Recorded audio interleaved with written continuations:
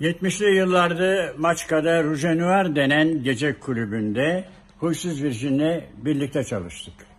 O kendi şovunu yapıyordu, ben kendi şovumu yapıyordum.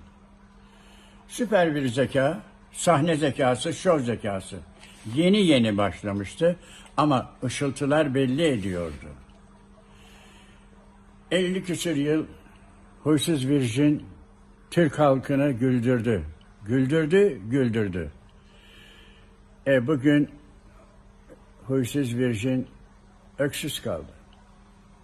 Seyfi Dursunoğlu güle güle nurlar içinde yat.